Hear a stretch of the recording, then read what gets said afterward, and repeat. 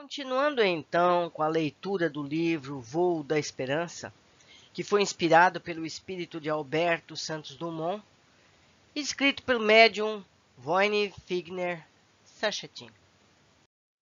Capítulo 5 Reencontros Assim, no ano de 1492, alguns do grupo dos leões, mais de 15 deles, necessitando aprender ou sofrer para valorizar a civilização que desprezaram na Europa, se encontram nas caravelas Santa Maria, Pinta e Nina, comandadas pelo missionário do futuro, Cristóvão Colombo. Desembarcaram em Cuba e ali alguns foram deixados quando a esquadra retornou à Europa.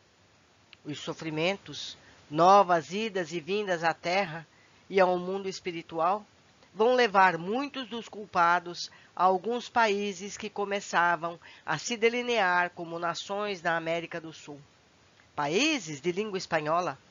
A sabedoria divina facilitava o aprendizado da língua espanhola aos devedores iberos e gauleses que tinham no subconsciente espiritual lembranças de línguas que se desenvolveram posteriormente ao período das Gálias.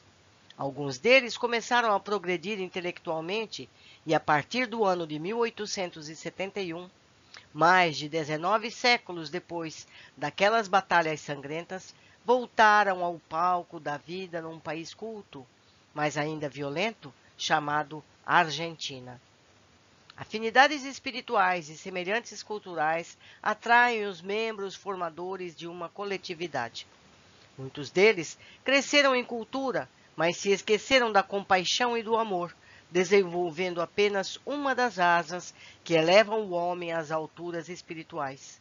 No conhecimento, caminhavam bem, no amor, deixavam passar as oportunidades de aperfeiçoamento, esquecidos de que, de posse de apenas uma asa, não se pode alçar voo na elevação espiritual. Íquios e Acauno dedicaram-se à vida militar. Como já vinha sendo, né, meus amigos? Desde o começo eles eram militares. O primeiro na Argentina e o antigo companheiro no Uruguai.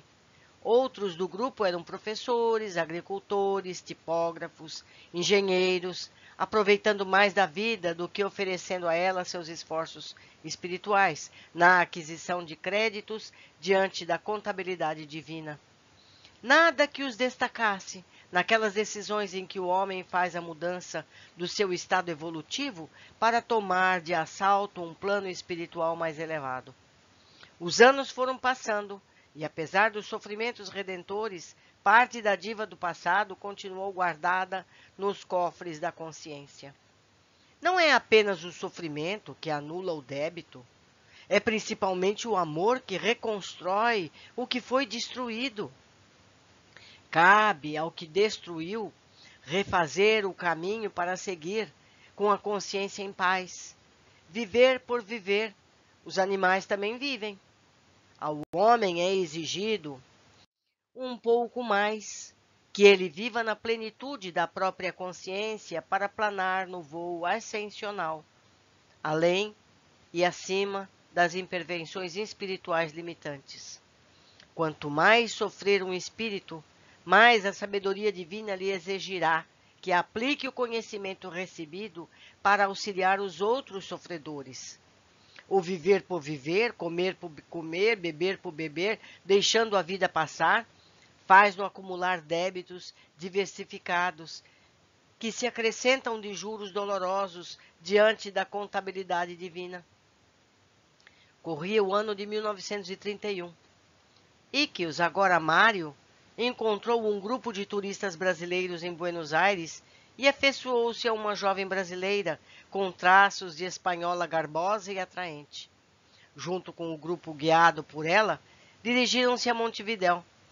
Os brasileiros e o argentino ficaram maravilhados com a pequena capital uruguaia, numa época em que a exportação de carne trazia divisas para aquele país. O acaso, que não existe, fez o grupo de jovens passar em aprazível local que começava a tomar forma na capital uruguaia, o Parque de la Carretera.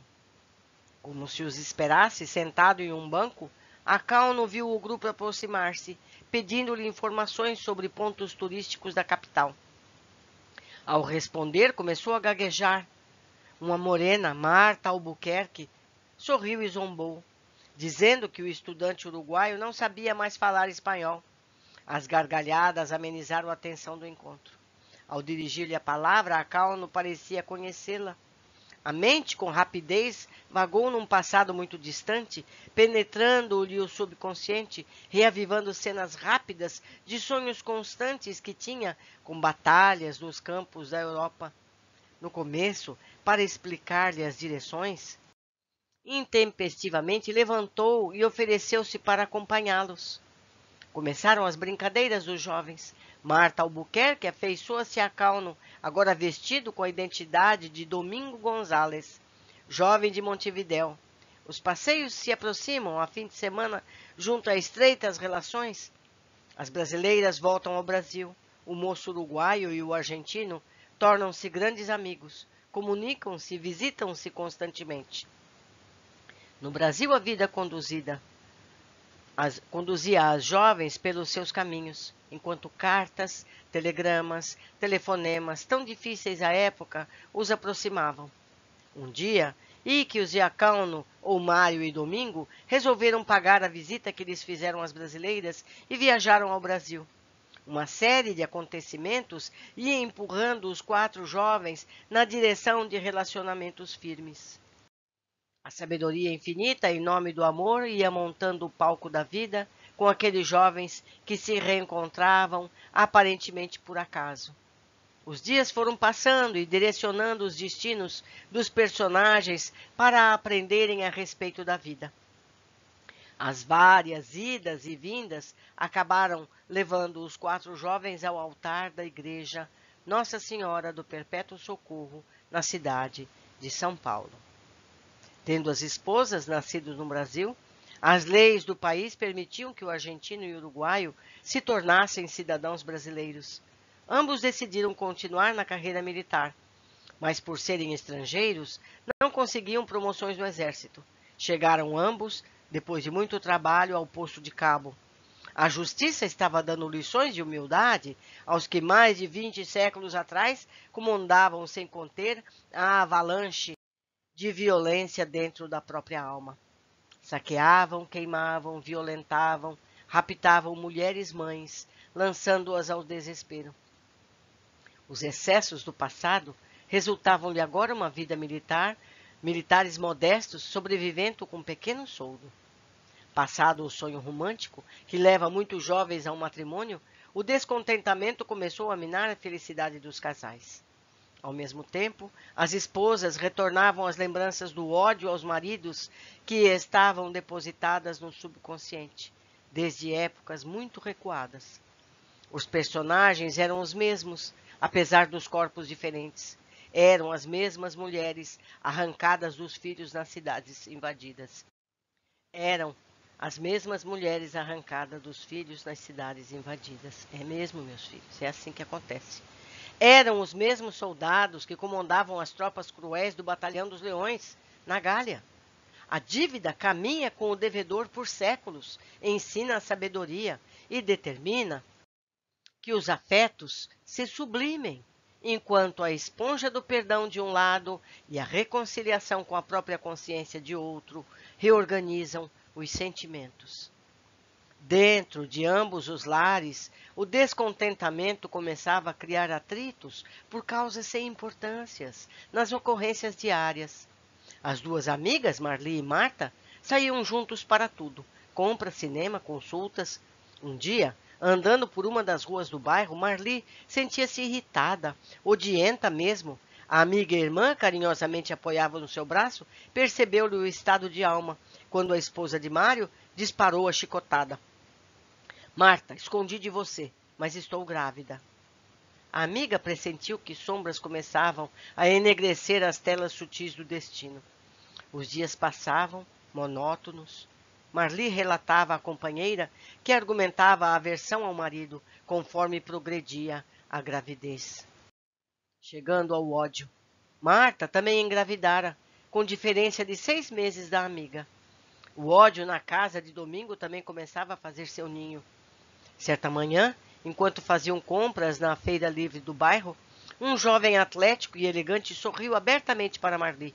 A futura mãe corou, olhou para Marta e a emoção dominou-lhe. Sem perceber, disse alto à amiga: É ele. É ele quem? retrucou Marta. Conforme o moço as ultrapassava, virou-se e atrevidamente beijou o rosto de Marli. Ambas pararam e Marta sentiu o mundo desabar. Começou a entender por quê, alguns meses atrás, quando os maridos haviam viajado para instruções de guerra, numa região fria e montanhosa do interior de São Paulo, estranhamente Marli saía sem a sua companhia. Muito emocionada, Marli não conseguia enganar a companheira. Começou a transpirar intensamente, apoiou-se no ombro da amiga. Um feirante que as conhecia ajudou-a a se sentar, deu-lhe um copo d'água açucarada. O moço encostou-se à cadeira gaguejando. Está grande, hein? As horas boas voam. Já se faz quase sete meses. Marta suspirou fundo. Já entendi. Marli melhorou, o moço se afastou e as amigas seguiram para casa, levando as sacolas de frutas e legumes. Marli convidou Marta a entrar. Sentaram-se saboreando um cafezinho. O filho que ela carregava no ventre não era de Mário. Marta, também grávida, empalideceu e momentaneamente recostou a cabeça na cadeira alta de madeira velha. Marli, muito pálida, percebeu que alguém lhe falava aos ouvidos. Dentro do lar, quando a semente do descontentamento começa a germinar, os frutos do ódio se evidenciam. Os inimigos se reencontram para acerto dos débitos.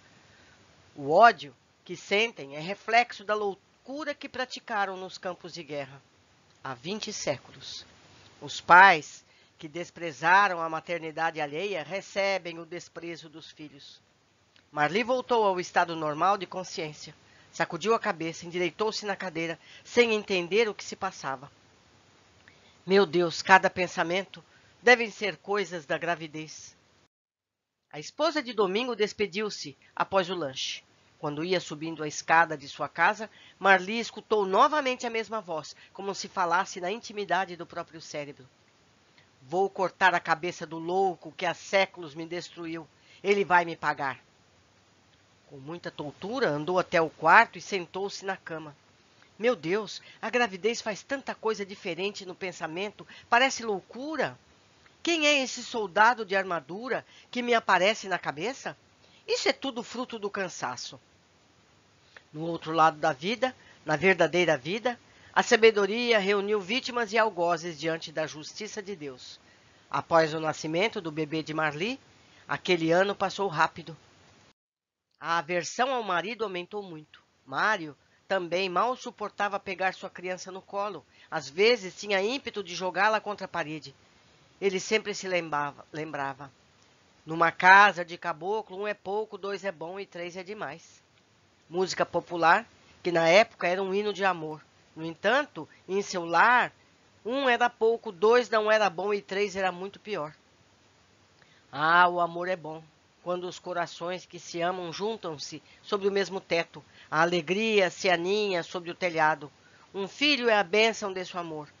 Não importam os problemas, a esperança e a alegria transformam o mais modesto lar em um palácio. O paraíso na terra é a casinha humilde, cheia de amor, enfeitada por dálias de rosas coloridas, espalhando perfume pela vizinhança.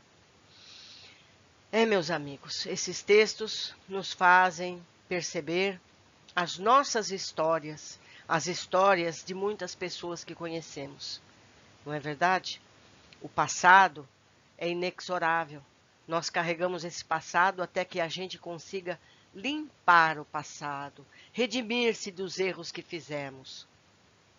Feliz daquele que entende essa situação e procura fazer o melhor possível, que procura reconciliar-se com todos, porque é o único caminho possível. Porque se a gente não fizer isso nessa vida, teremos que voltar e fazer na próxima. Então, por que não resolver já, não é mesmo? Foi uma grande alegria estar com vocês nesses estudos, aprendendo, crescendo espiritualmente. Eu aguardo todos vocês no próximo capítulo. Um abraço.